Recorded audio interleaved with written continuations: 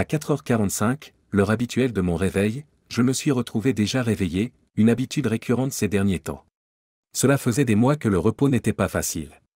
La fenêtre de la chambre encadrait l'obscurité, un spectacle habituel au réveil, la lumière du soleil semblait être un lointain souvenir. Le travail commençait à 6 heures précises tous les jours, qu'il pleuve ou qu'il vente. Le bon côté des choses, je terminais à 4 heures, ce qui me permettait de ne pas manquer un instant des activités de mes filles. Pour que la matinée soit calme, j'ai opté pour la douche de la salle de bain du couloir, soucieux de ne pas perturber le sommeil de ma femme. Elle ne s'est réveillée qu'au dernier moment, car elle devait être prête pour 6 heures. À 5 heures, mes filles ont fait de même, partageant la même routine de salle de bain, chronométrée à la perfection. Après la douche, j'ai rencontré Maria, ma première fille, dans le couloir. Un baiser sur sa joue à moitié endormie accompagnait sa démarche groggy vers la salle de bain. Un coup d'œil dans la chambre de Tara m'a valu un gémissement en réponse à ma salutation matinale. Cinq minutes plus tard, habillé et préparé, je me lançais dans le rituel quotidien de la préparation du petit déjeuner. C'était devenu une routine immuable. Le café infusait, les œufs brouillés grésillaient sur la poêle, les toasts croustillaient et les yaourts attendaient les filles. À 15 et 16 ans, elles étaient capables de s'en occuper elles-mêmes. Pourtant, mon implication s'était réduite à ce petit geste. L'époque où j'étais leur héros avait cédé la place à la gêne d'avoir un père comme moi. Après le petit déjeuner, j'ai vérifié une dernière fois que Tara était debout. J'ai déposé un baiser sur le front d'Erin, malgré son sommeil fin, et j'ai quitté le garage, accablé par la distance qui s'était creusée entre moi et ma famille. La prise de conscience la plus douloureuse? Je ne l'avais pas provoquée.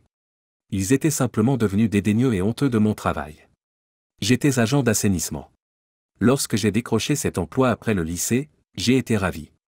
Il était mieux payé que ce que gagnaient beaucoup de mes amis diplômés de l'université. Au départ, je voyais cela comme un emploi temporaire en attendant de trouver quelque chose dans les métiers. Mais le fait de découvrir qu'il s'agissait d'un emploi syndiqué avec des avantages similaires à ceux des métiers m'a incité à tenir. Je savais que l'absence de diplôme signifiait que l'ascension des entreprises était hors de portée et, curieusement, cela me convenait. Après 25 ans de travail, je bénéficiais d'une solide pension, d'un salaire décent, d'excellents avantages sociaux et il ne me restait que 5 ans pour prendre ma retraite à 50 ans.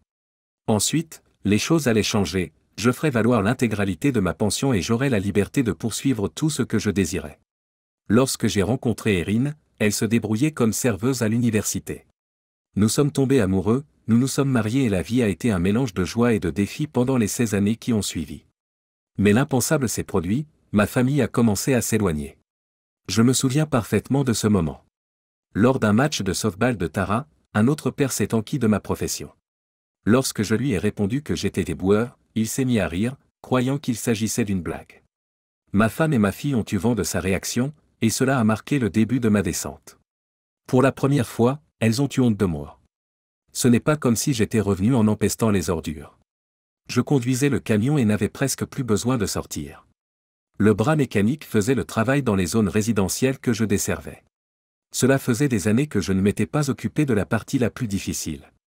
Bien sûr, il y a eu des périodes difficiles, mais tout n'a pas été sombre pendant un bon moment. J'ai même pris une douche sur le chantier avant de rentrer chez moi tous les jours. Ma famille ne s'est jamais plainte. Ils n'ont jamais caché mon travail à nos amis. C'était juste un travail, pas différent de celui d'un charpentier ou d'un policier. À partir de ce moment-là, tout a changé. Peu de temps après, ma femme a obtenu une promotion à la direction de la banque où elle travaillait. L'augmentation qui en a découlé n'a fait que creuser l'écart entre nos revenus. Cela ne me dérangeait pas, j'étais fier de sa réussite, mais je suppose que cela la dérangeait. Elle a commencé à s'habiller plus chic et à s'offrir des bijoux. Cela ne me dérangeait pas, à 42 ans, elle était encore superbe et j'aimais la voir habillée. Ses jupes mettaient en valeur ses longues jambes, et les talons, et bien, il lui allait à ravir. Elle a également commencé à offrir plus de cadeaux à nos filles. C'est peut-être la goutte d'eau qui a fait déborder le vase après l'incident. Leur attitude envers moi a changé du tout au tout, elles ont pratiquement adoré leur mère, se surpassant. J'espérais que ce n'était qu'une phase, mais l'espoir s'est vite évanoui. Avant, mes filles étaient entièrement tournées vers leur père. J'entraînais leurs équipes, je jouais à la poupée, j'organisais des goûters et je les laissais même me peindre les ongles et me coiffer pendant nos séances de salon de coiffure. Je n'ai jamais été gêné par tout cela, même lorsqu'Erin mettait les photos en ligne. Je me suis dit que c'était simplement ce que les papas faisaient pour leurs petites filles. Je suis rentré du travail à l'heure habituelle et j'ai trouvé une maison calme. Ma femme ne serait pas de retour avant une heure, et les filles pourraient arriver entre une et trois heures plus tard, en fonction de ce qu'elles avaient prévu après l'école. Je suis entré dans la cuisine pour préparer le dîner et j'ai remarqué une note sur la table. Je suis en retard. Dîner avec mon équipe. J'ai soupiré, regrettant que ma femme n'en ait pas parlé ce matin-là. J'aurais pu aller boire une bière avec les copains après le travail. En me tournant vers le frigo, j'ai trouvé un mot de Tara. Je passe la nuit chez Jenny. Encore un vendredi tout seul, ai-je murmuré à Fido, mon chat. Bien sûr, c'est un nom idiot, mais il a fait rire mes filles quand nous l'avons eu. Je ferai n'importe quoi pour entendre à nouveau leur rire. Je n'arrivais pas à me souvenir du dernier vendredi où Erin avait été à la maison. Il y avait toujours quelque chose, des dîners d'équipe, des soirées entre filles, des rencontres de managers dans des bars, toujours une excuse. L'idée d'une liaison m'a traversé l'esprit. Elle est arrivée à 10 heures, apparemment sobre. Moi, en revanche, je ne l'étais pas. J'avais passé la soirée à noyer mon chagrin dans du Jacques Daniels. Et, ai-je bredouillé? C'est gentil d'être venu. Tu es vivre, Bill a-t-elle demandé. Probablement. Je n'avais pas grand-chose d'autre pour me tenir sobre. Tu as mangé J'ai acquiescé et j'ai avalé le reste de mon whisky. Tu es incroyable. Je me suis servi un autre verre, que j'ai levé vers elle d'un air moqueur. Je réponds juste aux attentes. Elle a secoué la tête. Dors sur le canapé. Je ne veux pas que tu sois malade sur moi ce soir. Oui, ma chère. Le lendemain matin, des voix ont transpercé mon état groggy. La lumière du soleil filtrant à l'intérieur m'a choqué. J'ai dû m'évanouir car le verre vide était toujours accroché à ma main, posé sur ma cuisse. La conscience revint lentement à mesure que les voix devenaient plus claires. Même si tu vois quelqu'un d'autre, c'est toujours notre père, se plaignit Tara leur supposition que j'étais trop loin pour les entendre a résonné dans la cuisine. Je ne le trompe pas, Jason et moi ne sommes pas allés aussi loin, dit la voix d'Erin. Et pourtant, soupire Maria. Les filles, votre père n'est plus ce qu'il était. Nous avons besoin de plus qu'un éboueur, affirme Erin.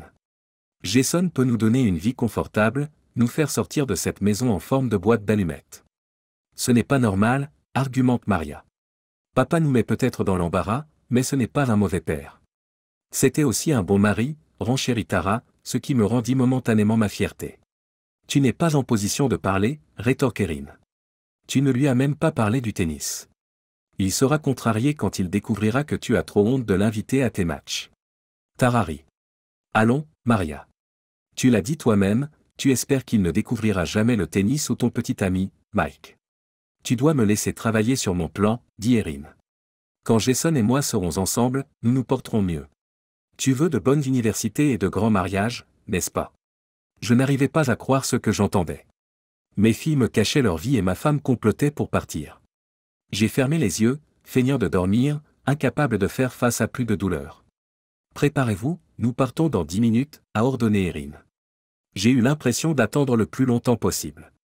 Lorsque la porte du garage s'est refermée, j'ai jeté un coup d'œil par la fenêtre, les regardant s'éloigner. C'était le moment le plus triste. Mes filles avaient honte de moi.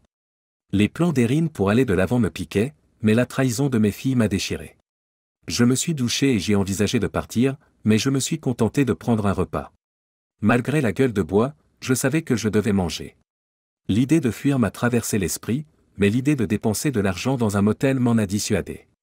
Je pouvais m'installer sur le canapé et me sentir tout aussi perdu. Je suis entré dans le restaurant familial local et me suis installé au bar. Bien qu'étant un habitué, la vue d'une belle rousse derrière le comptoir m'a pris au dépourvu. Qu'est-ce que je vous sers? me dit-elle. Un café noir, s'il vous plaît. Mon plat habituel est un biscuit au jus de viande avec des œufs sur le dessus et du bacon, répondis-je en retournant ma tasse. Ça a l'air délicieux. Je m'en souviendrai. C'est ma première semaine, dit-elle avec un clin d'œil en se présentant sous le nom de Mélodie. Je m'appelle Bill. Elle s'éloigne en sautillant, et je ne peux m'empêcher d'apprécier sa silhouette dans ce legging noir. Les jupes traditionnelles des serveuses ont été abandonnées ici. Tout au long de mon repas, Mélodie m'a servi plus que de la nourriture, un soupçon de flirt qui, je le savais, était probablement destiné à obtenir un meilleur pourboire. En tant qu'homme marié, j'ai gardé mes réponses amicales mais distantes. Alors que je m'apprêtais à régler mon addition, une petite fille a attiré mon attention derrière la caisse, occupée à colorier. Elle s'est assise dans la cabine où le propriétaire est habituellement perché, se livrant à une guerre de crayons avec lui. La famille s'est agrandie, Al Les je taquinais. Il rit, c'est l'enfant de Mélodie. Sa babysitter est malade aujourd'hui. Vous semblez avoir pris les choses en main, ai-je remarqué. Tu me connais, Bill. J'en ai envoyé deux à l'université, j'en ai perdu deux par la fenêtre, a-t-il plaisanté, citant une vieille réplique de film. Nous avons partagé un rire, j'ai réglé ma note et, en quittant le restaurant, je me suis senti étrangement plus léger. Un peu de badinage de la part de Mélodie m'avait remonté le moral plus que je ne l'aurais cru. Pour me distraire des problèmes familiaux et des pensées sur les fesses de Mélodie, j'ai décidé de rentrer à la maison et de m'attaquer au travail de jardinage. J'avais à moitié fini de tondre le jardin quand j'ai vu ma femme m'appeler. Je l'ai ignoré, faisant comme si je ne l'avais ni entendu ni vu. Les lunettes de soleil et le bruit de la tondeuse m'ont aidé. Elle a fini par abandonner au bout de quelques minutes. Je n'étais pas prêt à l'affronter. Je n'avais toujours aucune idée de ce que j'allais faire. J'avais envie de prendre la fuite et de prendre tout notre argent, mais nous n'avions pas assez d'argent pour que je puisse vivre jusqu'à ma retraite. Il ne me restait plus qu'à trouver le moyen de lui infliger le plus de dégâts possible lors du divorce. Si elle voulait partir, elle pouvait partir. J'espérais pouvoir obtenir la maison et la laisser emménager avec son amant. J'ai pensé qu'elle emmènerait les filles avec elle, d'après ce que j'ai entendu. Quand j'ai eu fini, j'ai arrosé l'herbe de ma tondeuse avec le tuyau d'arrosage et j'ai sorti les sacs d'herbe coupés à côté du garage. J'ai pris autant de temps que possible pour tailler et border, et quand j'ai eu fini, j'ai aimé l'aspect de l'ensemble. J'ai décidé de ne pas utiliser le coupe-bordure sur les fleurs d'érine, je me suis dit qu'il faudrait les replanter plus tard. Tara est sortie de la maison en sautillant et a demandé Papa, tu peux nous conduire au cinéma On va voir Barbie avec des amis. Je me suis demandé si l'un de ses amis était le petit ami que Maria me cachait. Non, j'ai aboyé. Je suis occupé. Papa, j'ai miel. Maman va à une pièce de théâtre et ne peut pas nous conduire. Je me suis retourné, avec qui va-t-elle jouer? Tara a pris un air effrayé et a bégayé, je ne sais pas. Tu devras lui demander. Je suis retourné aiguiser la lame de ma tondeuse et j'ai dit, peu importe. Papa, et le film, supplie-t-elle. Faites du vélo ou demandez à quelqu'un d'autre de vous emmener. Je suis occupé. Elle est restée là quelques instants, tandis que je continuais à ignorer sa présence.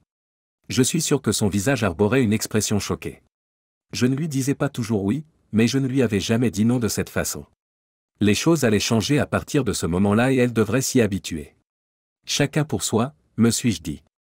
J'ai entendu la porte du garage claquer et j'ai secoué la tête. La grande porte était ouverte et elle aurait pu ressortir, mais elle ne pouvait pas la claquer.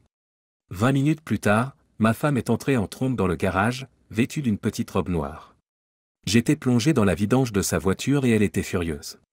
Qu'est-ce que vous faites à ma voiture Il faut que j'aille à la pièce, a-t-elle crié. Quelle pièce? Vous n'avez jamais parlé de pièces. J'ai juste commencé à changer l'huile, ai-je répondu. Pour l'amour de Dieu. J'ai essayé d'attirer votre attention pendant que vous tondiez la pelouse. Cheryl, ma collègue, a des billets pour week-end et son mari est malade. Je l'accompagne. Je devrais avoir fini dans une heure, ai-je menti. Une heure? Les gars de Jiffy Lube le font dans 20 minutes. Bien sûr, mais ce n'est pas Jiffy Lube, n'est-ce pas? Ça me prend un peu plus de temps, ai-je rétorqué. Elle a jeté un coup d'œil au moteur avec l'entonnoir qui dépassait et le filtre à air mis de côté avant de rentrer en trombe. Il n'y avait aucune chance qu'elle prenne mon camion. Il n'était pas en mauvais état, elle refusait simplement d'y mettre les pieds. Sa Mercedes de luxe était son véhicule de prédilection. Je me suis demandé si elle se rendait à la pièce avec son petit ami. Ce serait intrigant de voir qui viendrait la chercher. Dix minutes plus tard, mon soupir a résonné lorsqu'un Uber est venu la chercher. Quelques instants plus tard, dans l'allée, une voiture remplie d'enfants est arrivée et mes filles sont montées à bord sans dire au revoir. J'ai passé la soirée à me plonger dans les lois sur le divorce, apprenant que la situation n'était peut-être pas trop désastreuse pour moi. Le point fort? Comme Erin gagnait plus du double de mes revenus, je paierais une pension alimentaire réduite et elle me devrait une pension alimentaire. Le meilleur? Alors que la pension alimentaire prendrait fin dans quelques années, la pension alimentaire continuerait à être versée, selon le calculateur en ligne de l'État que j'ai utilisé. Le lendemain matin, j'ai suivi ma routine et j'ai pris une douche, bien que la journée n'ait rien de particulier. J'ai décidé de prendre un petit déjeuner au restaurant et d'aller voir le match des Sox. Cela m'a fait mal de savoir que nous y serions allés en famille s'ils n'avaient pas été trahis. Les filles adoraient les Sox et assistaient à leur match. Assis au bar du restaurant, j'ai salué le visage joyeux de Mélodie qui sortait de la cuisine avec un pot de café. Bonjour, Billy. Qu'est-ce qui se passe aujourd'hui? me demande-t-elle en souriant. Divorce, dis-je en sourdine tandis qu'elle me verse mon café. Tu es sérieux? J'ai hoché la tête. Je suis désolé de l'apprendre, Bill. Le divorce, c'est dur, crois-moi. J'ai haussé les épaules et bu une gorgée de l'infusion brûlante. Je peux te demander ce qui s'est passé? Ma femme et mes filles ont décidé que je n'étais plus ce qu'elles voulaient. Je suis un éboueur et je les embarrasse, selon leurs propres termes. Il s'avère que ma femme cherche mon remplaçant sans me le dire. Je suis désolé, Bill. Excusez-moi pendant que je remplis les tasses. En la regardant s'éloigner, je n'ai pas pu m'empêcher de remarquer à nouveau sa posture parfaite. Je m'appelle Lucie, lance la petite fille que j'ai vue la veille. Elle sourit en s'asseyant sur la chaise adjacente, qui ressemble à un tabouret de bar. Maman dit que je ne peux pas parler aux étrangers, alors tu dois me dire ton nom. Alors tu ne seras plus une étrangère. Je gloussai et répondis, Connaître mon nom ne fait pas de moi un étranger, princesse, mais je ne te ferai pas de mal. Je m'appelle Bill. Elle a saisi son verre d'eau à deux mains, portant la paille à ses lèvres. Le verre semblait énorme dans ses petites mains, me rappelant mes propres filles. Je voulais du lait au chocolat, mais maman dit que ce n'est pas bon pour moi. Maman a raison. Mélodie est arrivée avec mon petit déjeuner, réprimandant gentiment Lucie. Lucie, s'il te plaît, ne dérange pas les clients. Je ne veux pas d'ennui. Elle n'est pas gênante, ai-je rassuré en souriant. C'est bien d'avoir une compagnie joyeuse. Tu veux un morceau de bacon, Lucie, lui ai-je proposé. Elle rayonne et acquiesce vigoureusement. Faisant glisser l'assiette à côté d'elle, elle en a saisi un morceau comme s'il s'agissait du dernier sur terre. J'ai gloussé lorsqu'elle l'a mis en entier dans sa bouche. Doucement, ma petite. Ça ne va nulle part. Elle a gloussé et a sauté du tabouret pour aller voir ailleurs. Qu'est-ce qui te préoccupe, Bill? Me demande Mélodie en observant l'énergie débordante de sa fille. Je pense juste à mes filles. Je n'arrive pas à comprendre comment elles ont pu me faire ça. J'ai raconté en détail comment mes filles étaient gênées de m'avoir à leur jeu, comment Maria ne voulait pas que je rencontre son petit ami, et comment ma femme préparait mon remplaçant. Je me sentais complètement foutu. Mélodie m'a touché l'épaule et m'a demandé, ça va? Je vais bien. Je suis juste en train de remettre en question toute cette histoire de divorce. Peut-être qu'elle changera d'avis et ne me quittera pas? On dirait qu'elle ne vaut pas la peine d'être reconduite. J'ai été surpris par le ton tranchant de sa voix. Probablement pas, mais je n'ai pas de meilleures options. Il n'y a pas de fil de femme qui frappe à ma porte. Elle a ri. Bill, tu n'auras pas de rendez-vous pendant un certain temps. Tu ne peux pas sauter d'une femme à l'autre. Ça ne marche pas comme ça dans la vraie vie. Je savais qu'elle avait raison. C'était stupide de ma part de m'inquiéter de trouver une remplaçante à Erin immédiatement après avoir mis fin à nos relations. Elle a tourné mon visage vers le sien. Écoutez, vous avez l'air d'un type bien. Ma fille vous a parlé. Il lui a fallu trois jours pour parler à mon patron. Elle doit voir vos points positifs. Je me suis esclaffé. Tu ne le remarques probablement pas parce que tu es si dévoué à cette femme, mais il y a des femmes qui te regardent en ce moment. Tu es un bel homme et tu es en bonne forme physique.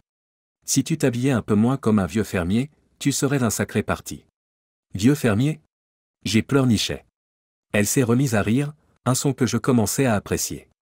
Yep. Chapeau John Deere. Un t-shirt blanc avec une poche. Un vieux Jean.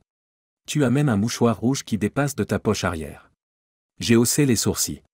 Quoi, lance-t-elle? Tu crois que tu es le seul à regarder les fesses des gens? Allez, mangez. Elle s'est éloignée pour s'occuper de ses tables, épargnant au moins mes chaussures de sport de père, tachées d'herbe, stéréotypées et dignes d'un même. Vous savez, les New Balance spéciales. Au bout de quelques minutes, on m'a resservi mon café. Il n'a pas fallu deux bouchées de mon petit déjeuner pour que Lucie revienne s'asseoir sur le tabouret à côté de moi. Maman a dit que je devais te laisser seule. Tu ne veux pas que je te laisse tranquille, n'est-ce pas? J'ai ri et je lui ai tendu un autre morceau de bacon. Non, princesse. Tu peux me parler. Pourquoi tu manges toute seule? Tu n'as pas de petits-enfants demande-t-elle. J'ai forcé un sourire et j'ai répondu, avant, mais ils sont plus grands maintenant. Aller manger avec leur père serait ennuyeux pour eux. Vous ne leur donnez pas du bacon? Je me suis esclaffé et j'ai répondu, absolument. Mais ils ont grandi avec moi. Ils préfèrent les yaourts aujourd'hui. Elle a froncé le nez et s'est exclamée, Burke, c'est dégueulasse. Finissant mes derniers biscuits et ma sauce en soupirant, j'ai dit, Eh bien, princesse, je te verrai plus tard. Tu pars déjà? Mélodie est apparue derrière nous. Oui, je vais au match et je fais un saut à Home Depot, ai-je répondu. Ça a l'air sympa. Je n'ai jamais assisté à un match, a-t-elle remarqué. Oh oui, c'est la journée des enfants aujourd'hui. Quand mes filles étaient petites, nous y allions tout le temps. Elles étaient tellement excitées à l'idée de courir sur les bases qu'il était difficile de les faire sortir du terrain. Cool, dit-elle. Ayez une. Je n'arrivais pas à y croire, mais les mots sont sortis de ma bouche, tu veux venir. J'étais surpris, je n'avais même pas pensé à demander. Non, on ne peut pas faire ça. C'est. Viens, maman, s'il te plaît. Je veux courir sur le terrain, ajoute Lucie. Tu sais courir sur les bases? Demandai-je. Elle a hoché la tête avec enthousiasme. Oui, j'ai joué au Tiban l'année dernière. Je faisais partie des Bears. J'ai jeté un coup d'œil à Mélodie en souriant. Alors, maman? Qu'est-ce que tu en dis? Le match est à 13 heures. On a tout notre temps. Elle hésite, se mord la lèvre, mais finit par dire D'accord. J'aurai fini à 11 heures quand la cantinière arrivera. Tu es sûr que ça ne pose pas de problème? Absolument. Lucie se met à applaudir avec excitation. Je passerai te prendre à 11 heures, alors. En réglant l'addition et en faisant mes adieux à Al, je n'ai pas pu effacer le sourire de mon visage. Mais qu'est-ce que je faisais? En entrant dans le garage, j'ai déposé mes sacs en dépôt sur l'établi. La voiture d'Erin était absente, mais je l'ai ignorée. J'ai enfilé mon vieux maillot de Paul Conerco et j'ai trouvé ma fidèle casquette des Sox, la même tenue que je portais à chaque match avec les filles. Papa, on va au match? demande Maria. Non, je vais au match. Qu'est-ce que tu veux dire? Tu y vas sans nous? proteste-t-elle. C'est vrai. J'ai mis mon chapeau et je l'ai laissé dans le couloir, déconcerté par ce changement soudain. En sortant de l'allée, j'ai aperçu Erin qui s'arrêtait. Elle a klaxonné et m'a fait signe, mais je suis passé devant en l'ignorant. Quelques instants plus tard, mon téléphone a sonné. Oui, répondis-je sur le haut-parleur. Qu'est-ce qui t'arrive ces derniers temps? Erin grommelle. Je ne suis pas sûr de ce que tu veux dire. Pourquoi tu ne nous emmènes pas au match? Je me suis esclaffé. Je me suis dit qu'il fallait que je m'habitue à faire des choses sans toi et les filles. Il y a eu un long silence avant que je ne mette fin à l'appel. J'ai choisi de l'ignorer lorsqu'elle m'appelait, ne tenant pas compte de ses messages, qui se résumaient la plupart du temps à Appelle-moi ou Tu fais l'imbécile. C'était ironique, oui, j'étais un con, mais c'est elle qui me quittait. Sur le plan émotionnel, je m'étais détaché, sachant que notre relation était terminée. Je ne pouvais pas rester avec quelqu'un comme elle. L'idée persistante qu'elle cherchait toujours à s'améliorer me harcelait. À 11 heures, je suis entré dans le restaurant et j'ai trouvé Lucie au bar, en train de terminer un panier de frites recouvertes de ketchup. On dirait que quelqu'un aime le ketchup, ai-je plaisanté en m'asseyant à côté d'elle. Elle a souri, les lèvres barbouillées du condiment rouge. Bonjour, Bill, a appelé Mélodie depuis la salle de bain en s'approchant. Nous sommes prêts. Je voulais juste qu'elle ait un petit quelque chose pour qu'elle n'en veuille pas trop au parc. Je sais à quel point les choses peuvent être chères. Oui, les prix du stade ne cessent d'augmenter. La mort et les impôts sont les seules certitudes de la vie. Elle est assez jeune pour entrer gratuitement, et nos billets ne coûtent que 10 dollars, ce qui n'est pas si mal pour la journée de la famille. Journée de la famille, demande Mélodie. Je croyais que tu avais parlé de la journée des enfants. Oui, ils ont changé le nom. Quand mes filles étaient plus jeunes, c'était toujours la journée des enfants. Je sais ce que vous pensez, je n'essaie pas d'eux. Elle me coupe la parole. Ne t'inquiète pas pour ça. Je sais que ce n'est pas un rendez-vous. Tu es encore marié et tu essaies de trouver un peu de bonheur. Je ne vois pas d'inconvénient à ce que nous en soyons les bénéficiaires. En essuyant la bouche de Lucie, elle m'a souri. On y va? Pendant le trajet jusqu'au stade, j'en ai appris davantage sur sa vie. Elle avait été mariée à un buveur invétéré qui n'arrivait pas à garder un emploi, lassée de ses mensonges, elle l'avait quitté. Il voyait à peine Lucie en raison d'une pension alimentaire impayée. J'ai eu de la peine pour la petite fille, aucun enfant ne devrait manquer à son père. Elle a déménagé dans la région pour vivre avec ses parents pendant qu'elle refaisait sa vie. Son premier emploi consistait à servir des tables, mais elle voulait trouver un travail plus proche de son ancien poste d'assistante administrative. Malheureusement, la chance n'était pas de son côté. À 31 ans, elle était plus jeune que moi, mais elle avait une maturité que seule la maternité, le divorce et les moments difficiles peuvent cultiver. Le match s'est déroulé sans grand suspense. La petite Lucie a terminé de façon impressionnante deux hot dogs et un Coca-Cola, son tout premier soda, à en juger par sa réaction. Dans la septième manche, nous avons fait la queue pour que Lucie puisse courir sur les bases. La file d'attente était longue, mais elle aurait sa chance. La mascotte de l'équipe a diverti les enfants, au grand soulagement des parents. À ma grande surprise, j'ai aperçu Jacques Dorset, le directeur de la Little League de notre ville, avec ses enfants. Nous les avons invités à nous rejoindre dans la file d'attente et j'ai fait les présentations. Jacques, je te présente mon amie Mélodie et sa fille Lucie. Pour que les choses soient claires, je ne m'éloigne pas d'Erin, nous allons simplement voir un match de baseball ensemble. Avec mes filles qui ont grandi, je n'assiste pas souvent à des matchs ces temps-ci. Jacques s'esclave. Je comprends tout à fait. Heureusement, j'ai encore un petit. C'est la dernière année de junior dans cette ligue, il aura bientôt 14 ans. On dirait que je vais devoir trouver quelqu'un à qui emprunter un enfant. Nous avons partagé un rire. Bill, écoute. Si tu cherches quelque chose qui te permette de rester impliqué avec les enfants, nous avons besoin d'un entraîneur de Tibal cette saison. Ardalé a pris sa retraite et a déménagé en Floride. Oh non, c'était l'entraîneur de Lucie, s'exclame Melody. C'est vrai? Au moins, tu connaîtras déjà l'un des enfants de l'équipe, Bill.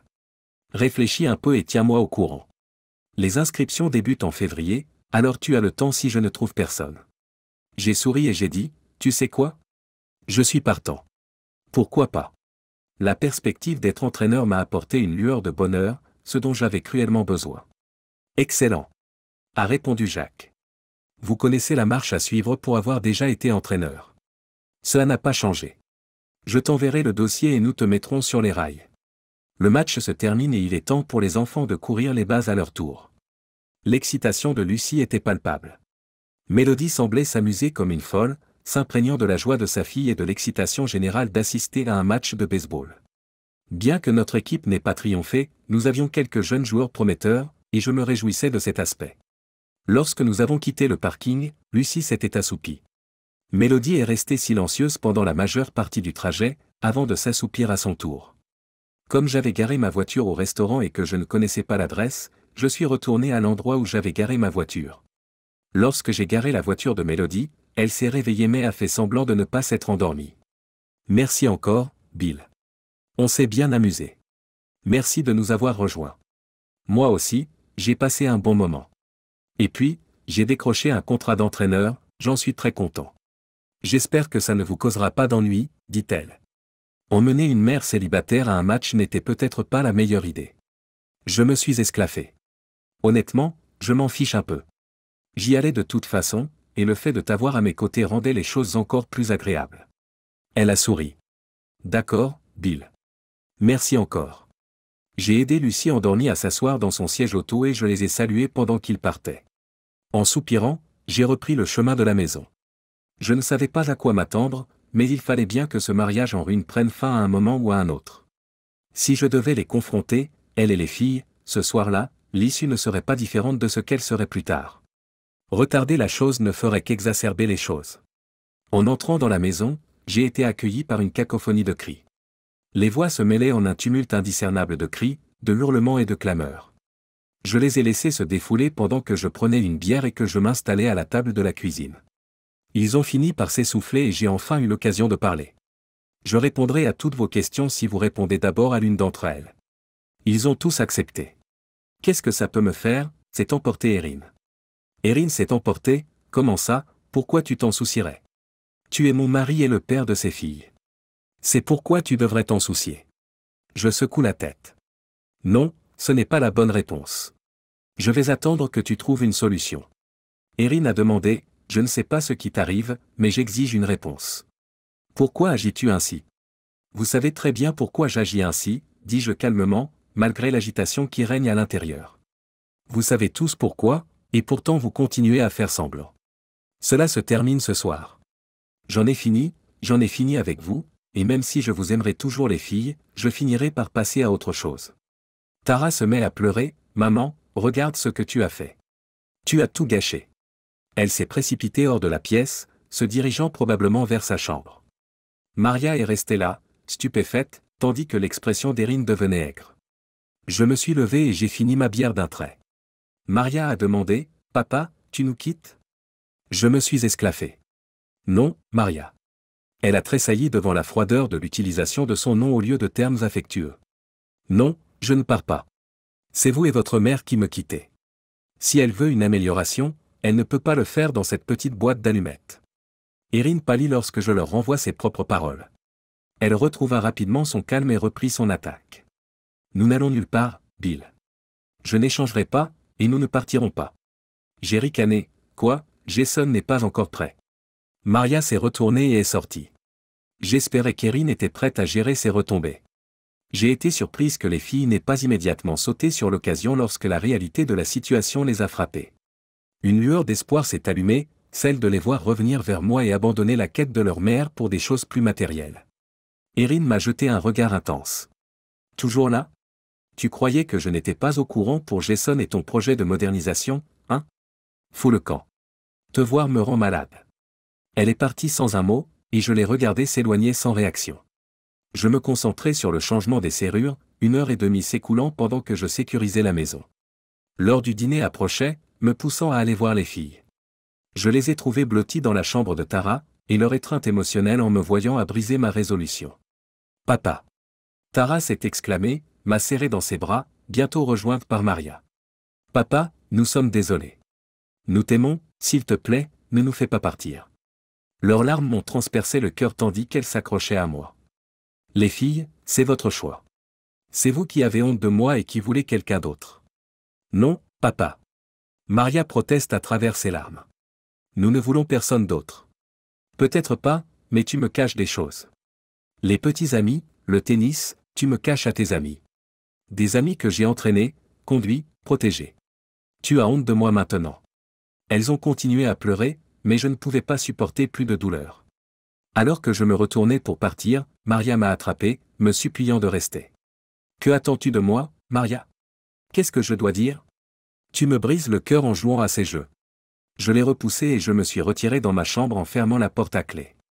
Je luttais contre mes émotions, déchiré entre le fait de leur pardonner et le mal qu'ils avaient causé. Finalement, ils ont fait irruption dans ma chambre et nous nous sommes serrés dans les bras, leurs larmes trempant mes épaules. Elles étaient mon univers, mais le pardon ne viendrait pas facilement. Le plan d'Erin avec Jason a connu un accroc lorsque ce dernier n'a pas voulu loger deux adolescentes dans sa garçonnière. Étonnamment, la procédure de divorce s'est déroulée sans encombre. La garde partagée a été convenue, et les filles ayant choisi de rester avec moi tandis qu'Erin partait avec Jason, la question de la garde a été réglée sans heurts. La pension alimentaire et la prise en charge des enfants ont amputé l'augmentation d'Erin à la suite de sa promotion, mais pour moi, le fait d'avoir mes filles était tout. Les filles ne se sont pas emportées contre leur mère comme je l'avais espéré. Erin a continué à les couvrir de cadeaux, achetant même une voiture pour qu'elle la partage. Après la procédure judiciaire, j'ai eu très peu de contact avec elle, et je n'ai donc pas pu évaluer ses sentiments. Tant que la pension alimentaire était versée, c'était suffisant. Il a fallu des mois aux filles et à moi pour rétablir notre relation. Elles prétendaient que leur mère avait influencé leur gêne à mon égard, ce que j'avais du mal à accepter. Pourtant, alors qu'elles me présentaient à nouveau à leurs petits amis et me remettaient les calendriers des activités sportives, j'ai choisi de laisser le passé s'estomper. Les choses ont semblé revenir à la normale, mais je suis resté vigilante quant à la façon dont elles me traitaient. Les filles ont été surprises par le compte d'épargne que j'avais ouvert pour elles. Erin les avait trompées sur les dépenses universitaires, en leur faisant croire qu'elles auraient besoin d'un prêt. J'ai révélé la vérité, un compte de courtage que j'avais alimenté depuis leur naissance couvrirait la majeure partie de leurs études. Erin ne l'avait pas contesté lors du divorce. Le lendemain du jugement de divorce, je suis allé au restaurant pour voir Mélodie. Nous avions partagé le petit déjeuner chaque semaine, mais nous n'étions pas sortis ensemble. J'avais l'intention de changer cela. Elle m'a salué alors que je m'installais au comptoir. Et, c'est officiel, le divorce est prononcé. Elle arqua un sourcil en versant le café. J'ai pensé que maintenant que je suis célibataire, tu pourrais me laisser t'inviter à sortir. Son sourire s'élargit. Comme un rendez-vous? Pas comme un rendez-vous. Un vrai, ai-je précisé? Ah, tu hésites sur la question du rebond, hein, me taquine-t-elle? Peut-être que je devrais te laisser le temps de. Arrête. C'est vendredi soir. Personne d'autre n'a le droit à une chance, a-t-elle interrompu. Je l'ai regardé avec impatience. J'ai quelque chose sur le visage? Non, mais je t'enverrai mon adresse par SMS. J'ai ton numéro depuis trois jours, d'accord? Maintenant, laisse-moi t'apporter ton petit déjeuner, dit-elle avec un clin d'œil amusé, en s'éloignant à grands pas. Mes filles n'étaient pas ravies que je sorte avec une mère célibataire et une petite fille. Si la jalousie était visible, elles auraient laissé une traînée verte derrière elles. Le samedi suivant mon premier rendez-vous officiel avec Mélodie, je l'ai invitée à déjeuner avec Lucie. Lorsque j'en ai parlé à mes filles, elles avaient d'autres projets. Papa, on avait un double rendez-vous pour déjeuner et voir un film samedi, se plaint Tara. Je l'ai rassuré, ce n'est pas grave. Tu peux toujours aller au cinéma et dîner. Rejoins-moi pour le déjeuner, rencontre Mélodie et Lucie, puis sors. Tara est partie et Maria m'a embrassé sur la joue, nous serons là, papa. Je voulais juste m'assurer que tu ne nous remplaces pas. Elle est partie en sautillant, comme si elle avait triomphalement contré une menace qu'elle supposait que je représentais. Leur attitude m'a troublé, mais j'ai essayé de m'en débarrasser. Je me suis levé tôt, j'ai préparé ma sauce barbecue et j'ai préparé les côtes et les cuisses de poulet. Pendant que les côtes cuisaient lentement, j'ai préparé ma sauce barbecue. Je n'étais pas un chef de fosse, mais maintenant que j'étais célibataire, j'ai décidé d'acheter le fumoir auquel Erin avait toujours opposé son veto. Je me suis rendu compte qu'il y avait beaucoup de choses que je m'étais refusé à cause d'elle. Alors que je préparais la salade de pommes de terre, on a sonné à la porte. J'ai essayé de répondre avant mes filles, mais elles m'ont devancé. Mélodie n'était pas encore entrée que mes filles ont commencé à lui poser des questions. Où habitez-vous? Où travaillez-vous? Quel âge avez-vous? Es-tu divorcé Elle ne la laissait pas parler. Les filles. Maria et Tara, reculez, s'il vous plaît, suis-je intervenu. Je suis désolé pour elle, Mélodie. J'ai jeté un coup d'œil à mes filles, intriguées par leur comportement. Ce n'est pas grave, Bill, répondit-elle gentiment. Elles sont protectrices, à leur manière. Son sourire était tranchant comme une lame de rasoir. Quoi qu'il en soit, j'ai continué. Voici Tara et Maria. Les filles, voici Mélodie et Lucie. Lucie s'est cachée derrière sa mère. Je m'attendais à une petite fille extravertie, mais elle semblait réservée. J'ai pris la main de Lucie et l'ai fait sortir de l'abri de sa mère. Elle a jeté un coup d'œil à mes filles renfrognées et s'est retirée à mes côtés. Leurs expressions changèrent lorsqu'elles virent ma déception. Mélodie, suggérai-je, pourquoi n'emmènerais-tu pas Lucie à la cuisine? J'ai presque fini de mélanger la salade de pommes de terre. Peut-être qu'elle aimerait m'aider à la mélanger? Mes filles se sont renfrognées. Les souvenirs des petites filles qui remuaient les plats dans la cuisine refaisaient surface, soulignant le poids de leurs actions. Je ne tolérerais pas qu'elles gâchent les choses avec Mélodie, et elle craignait que je trouve d'autres options de compagnie. Attendez. Tara s'est interposée. Je suis désolé d'avoir été impoli. Je suppose que nous ne supportons pas le divorce et ton départ si facilement. Je me moque. Tu n'avais pas l'air de t'en soucier quand tu savais que ta mère essayait de faire un échange et que tu me l'avais caché. Tara a secoué la tête et s'est précipitée dans les escaliers pour rejoindre sa chambre. Maria soupire, allez, papa. On s'est excusé cent fois pour ça. Eh bien, c'est assez terrible que tu étais d'accord avec les actions de ta mère quand elle essayait de me remplacer, mais quand elle divorce, et que je ramène quelqu'un que j'aime à la maison, tu la traites mal. Tu ne peux pas accepter que j'aille de l'avant, mais tu peux accepter que ta mère change d'avis Tu sais quoi? C'était une erreur. Appelle tes petits amis pour qu'ils viennent te chercher. Je ne veux pas que tu gâches notre déjeuner. Mélodie a sursauté et Maria s'est précipitée dans sa chambre. Je secouai la tête et m'affaissai dans le fauteuil incliné à proximité. Je n'arrivais pas à croire que j'avais rompu ma relation avec mes filles. Peut-être devrions-nous y aller, Bill. J'ai levé les yeux, voyant l'inquiétude de Mélodie. Lucie m'a serré dans ses bras. Mais nous n'avions pas encore les côtes, maman. J'ai souri devant l'innocence de Lucie. Elle a raison, Mélodie. Nous n'avons pas encore mangé quoi qu'il soit arrivé à mes filles, nous pouvons encore profiter de notre déjeuner. Allons finir cette salade de pommes de terre. Une vague de tristesse m'envahit. Je ne comprenais pas pourquoi mes filles avaient agi de la sorte, mais surtout, je ne comprenais pas pourquoi j'avais réagi de la sorte je me suis rendu compte que la colère et la frustration refoulées à cause de leur silence sur le petit ami de leur mère ne s'étaient pas entièrement dissipées et avaient éclaté de manière incontrôlée. J'ai supposé que mes filles étaient parties puisque je ne les avais pas entendues pendant le reste de l'après-midi. Lucie semblait dévorer leur part de côte levée.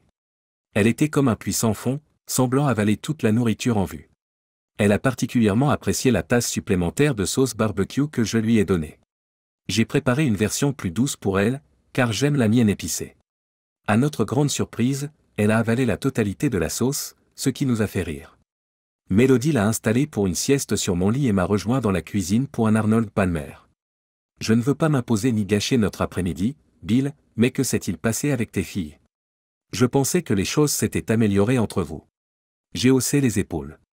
Je ne sais pas vraiment. Je pense que j'ai peut-être réagi de manière excessive.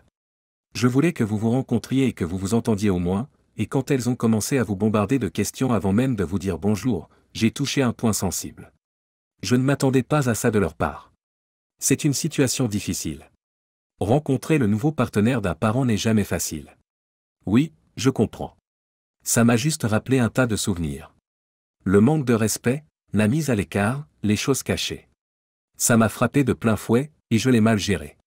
Je suis sûr qu'ils vont s'en sortir, dit-elle, essayant d'apaiser mes regrets. J'ai entendu la porte d'entrée s'ouvrir et se fermer. Je me suis retourné et j'ai vu les filles monter dans leur chambre. Je vais m'excuser et les serrer dans mes bras. Vous m'excusez? demandai-je. Bien sûr. Je vais voir Lucie. J'ai embrassé sa joue et je suis monté à l'étage pour essayer de réparer le désordre auquel j'avais contribué. Quand je suis arrivé dans la chambre de Maria, elle était en train de faire son sac. Qu'est-ce qui se passe, ma puce? Elle m'a jeté un regard noir que je ne voulais plus jamais voir. Nous partons avec maman. Maria, écoute, je suis désolé. Je me suis énervé quand tu as passé un mauvais quart d'heure à Mélodie, mais je ne voulais pas. Ça suffit, papa. Tu avais raison. Tu as toujours eu raison. Nous sommes restés avec toi parce que le nouvel homme de maman n'était pas sûr que nous puissions tous vivre ensemble. Ils ont une nouvelle maison maintenant, avec des chambres pour nous deux. Il est temps que nous rejoignions maman, comme nous l'avions prévu. Je suis resté là, incrédule. Était-ce vraiment vrai? Tout cela n'était-il qu'une comédie? Mon Dieu soupire-t-elle. Tu n'as pas idée de la difficulté que tu as eu à faire semblant pendant que maman mettait tout en place. Je l'ai supplié, s'il te plaît, non, bébé. Ne. Elle est passée devant moi et je me suis senti paralysé. Je me suis efforcé de bouger, de la poursuivre, mais j'avais l'impression que mes pieds étaient collés au sol.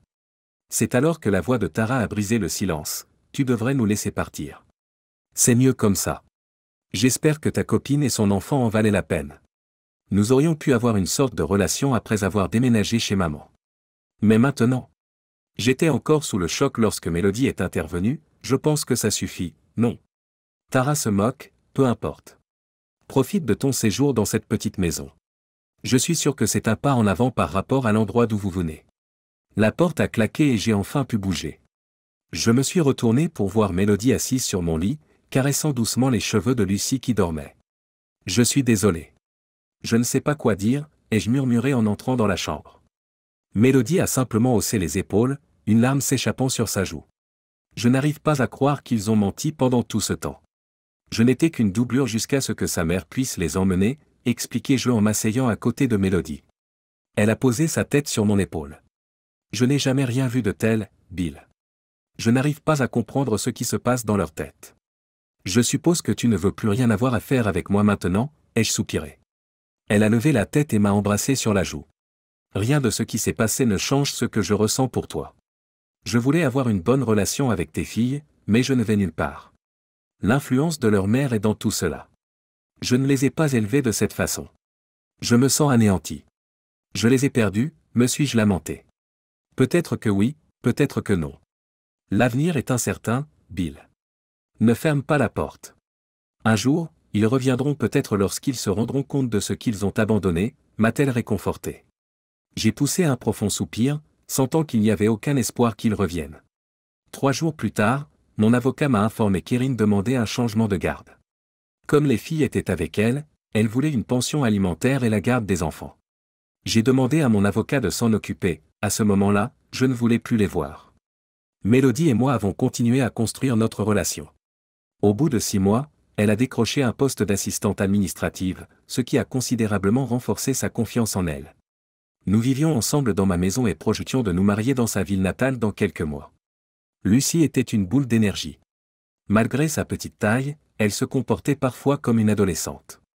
Un soir, alors que Mélodie et moi préparions le dîner, Lucie est entrée dans la cuisine. Monsieur Bill, il y a une fille qui se balance sur mes balançoires, m'a dit Lucie avec surprise, détournant mon attention du repas que nous étions en train de préparer. Je me suis précipité vers la porte arrière et là, sur les balançoires, se trouvait ma fille Tara, se balançant doucement d'avant en arrière. J'ai été prise au dépourvu. Cela faisait si longtemps que je n'avais pas eu de nouvelles de l'une ou l'autre d'entre elles après leur départ, qui m'avait déchiré le cœur. La main de Mélodie se posa sur mon épaule. Va la voir, Bill. Il y a quelque chose qui ne va pas. Une poussée de colère m'a traversé comme un éclair. L'idée que quelqu'un ait pu faire du mal à l'une de mes filles m'était insupportable. La porte coulissante s'est ouverte dans un bruit sourd. Tara nous tournait le dos et tenta de s'enfuir en entendant le bruit. Tara, attends. J'ai crié. Elle m'a ignoré et s'est mise à courir. Le temps que j'atteigne l'entrée de la maison, sa voiture descendait déjà la rue en trombe. J'ai senti Lucie me prendre la main et me demander, c'était ta méchante fille. Je l'ai soulevée et j'ai répondu, elles n'ont pas toujours été méchantes, Lucie. Il fut un temps où elles étaient aussi gentilles que toi. Mélodie a demandé, de quoi s'agit-il? Je ne sais pas, chérie. Mais il y a quelque chose qui ne va pas, et je dois aller voir ce qu'il en est. Je leur ai dit au revoir en les embrassant et j'ai traversé la ville pour me rendre chez mon ex-femme. Tout au long du trajet, mon adrénaline est montée en flèche, et la colère est montée comme de la bile dans ma gorge. Si voir rouge était une chose réelle, j'en aurais été aveuglé. Je me suis arrêté devant leur somptueuse maison dans le quartier chic. La voiture de Tara était dans l'allée et la porte d'entrée était grande ouverte. En m'approchant de la porte, j'ai entendu des cris à l'intérieur. Je suis entré dans la maison et j'ai vu Maria en larmes sur le canapé, tandis que mon ex-femme criait après Tara. L'abruti avec qui elle était n'était nulle part. Arrête de mentir, enfant gâté, a aboyé mon ex-femme quand je suis entré. Maria m'a vu et s'est précipitée vers moi. Papa. Elle m'a serré très fort dans ses bras, et j'ai eu du mal à lui rendre son étreinte. Tara s'est précipitée dans sa chambre et Erin m'a jeté un regard noir. Qu'est-ce que tu fais ici, Bill cracha-t-elle, les yeux plissés de colère. Je veux savoir ce qui se passe avec mes filles. Ce sont tes filles maintenant? Pas un mot depuis des mois, et soudain tu veux à nouveau jouer au papa. Eh bien, va te faire foutre, les boueurs. J'ai tenu Maria à bout de bras, en lui serrant les épaules. Qu'est-ce qui se passe, Maria? Rien. Erin a crié. Retourne à ta poufiasse et laisse-moi m'occuper de mes filles. Tara descendit les escaliers, agrippée à son téléphone et l'air effrayé. Maria dit à Tara, montre-lui. Elle m'a tendu le téléphone avec une vidéo prête à être diffusée. J'ai été stupéfaite de voir la preuve indéniable que Jason les espionnait. La rage a envahi mes muscles, chaque fibre s'est tendue. J'ai rendu le téléphone à Tara et j'ai fixé mon regard sur Erin. C'est une erreur innocente, Bill. Elle réagit de manière excessive, insiste Erin. Citrouille, combien de fois l'a-t-il fait avant que tu ne l'enregistres? J'ai demandé, en essayant de garder mon ton ferme. 3. sanglote-t-elle. Erin a répliqué, arrête de mentir. J'ai ouvert les bras et Tara s'y est précipitée, pleurant contre ma poitrine. Les filles, dis-je aussi calmement que possible, allez faire votre sac. Vous rentrez à la maison avec moi. À ma grande surprise, elles se sont précipitées à l'étage. Je ne pouvais qu'espérer qu'elles suivaient mes instructions. Je ne pouvais pas laisser mes filles avec ce prédateur. J'ai fixé un regard dur sur Erin. Je suppose que Tara vous en a parlé et que vous ne l'avez pas cru. C'est pourquoi elle a commencé à enregistrer ses douches. C'est juste un malentendu. Il pensait que c'était moi dans la douche. Étiez-vous à la maison quand elle a enregistré cette vidéo? Elle baisse le regard, puis le relève d'un air de défi. Oui. Avant que je puisse répondre, l'abruti a franchi la porte. Eh bien, l'éboueur est venu un jour plus tôt. Je me suis retourné et lui ai donné un coup de poing en plein sur le nez. Toute la rage que j'avais ressentie au cours de la dernière demi-heure s'est déversée dans ce coup. Il s'est effondré sur le sol, le sang tachant la moquette beige. J'appelle la police, hurle tu as fait la plus grosse erreur de ta vie, espèce de fils de. Je lui ai souri, haussant les sourcils et acquiesçant. Elle comprit instantanément, jetant un coup d'œil à l'abruti qui se tordait sur le sol, et mit fin à l'appel. Quoi? Tu ne veux pas que la police vienne, Erin Pourquoi? J'ai lancé un défi. Elle a presque murmuré, Pas, c'est tout. J'ai pivoté, observant Alan qui se relevait lentement, le sang dégoulinant abondamment. Il a fait un geste et s'est mis face à moi, essayant d'endiguer l'écoulement de sang avec sa chemise. Pendant un bref instant, je me suis demandé avec quelle force Justin Tucker devait frapper le ballon pour battre le record de la NFL, mais je me suis lancé. Lorsque le haut de mon pied a rencontré son aine, il s'est réellement soulevé du sol. Le mélange de choc et d'agonie sur son visage faisait plaisir à voir. J'aurais aimé avoir un appareil photo pour immortaliser ce moment. Cela aurait fait une superbe cheminée. Erin a crié et s'est précipitée vers lui. Mes filles sont arrivées derrière moi et m'ont pris par les bras. Ramène-nous à la maison, papa, a demandé Tara. Erin s'est retournée, ses paroles étaient définitives. Si tu pars avec lui, ce n'est pas la peine de revenir. C'est fini. Les yeux de Tara s'enflammèrent de colère et elle gifla Erin. Au revoir, maman. En conduisant, j'ai demandé, a-t-il déjà fait du mal à l'une d'entre vous? Non, ont-elles répondu en chœur. Maria, est-ce qu'il vous a déjà surpris? Oui, avoue-t-elle, la tête baissée dans le rétroviseur. Pourquoi n'avez-vous pas fermé la porte à clé? Je l'ai interrogé. La serrure est cassée et la seule autre douche se trouve dans leur chambre. Nous n'avons pas le droit de l'utiliser. Pourquoi m'as-tu fui à la maison, Tara? Je voulais tellement que tu m'aides, mais après ce qu'on t'a fait, je ne pouvais pas te le demander, sanglote-t-elle. Ces mots sortaient en bégayant, les larmes se mêlant à ses paroles. Je ne pouvais pas, je pensais que tu dirais non, et, que je serais toute seule. Une larme a roulé sur ma joue. Comment les choses avaient-elles pu aller si mal pour qu'elle croie que j'allais la repousser dans un moment pareil? Je vous aiderai toujours, quoi qu'il arrive. Vous serez toujours mes filles, compris. J'ai affirmé. Maria a ajouté, mais tu as cette petite fille maintenant. Tu n'as pas.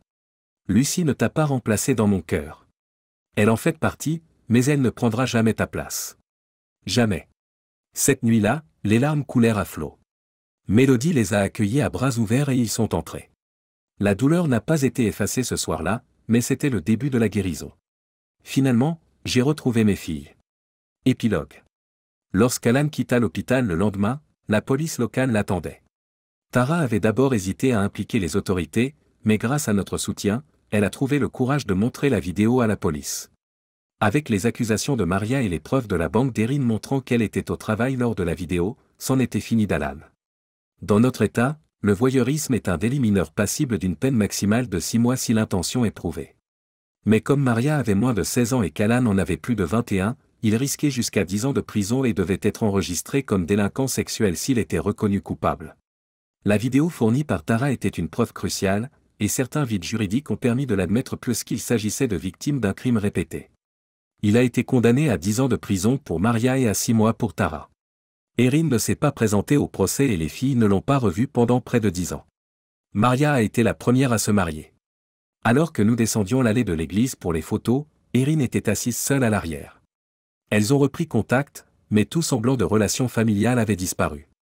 Peu après avoir compris que leur mère biologique privilégiait ses propres intérêts, elles ont commencé à appeler Mélodie maman. C'est regrettable, mais quand on jette le trouble dans un tourbillon, il ne peut que vous revenir en pleine figure.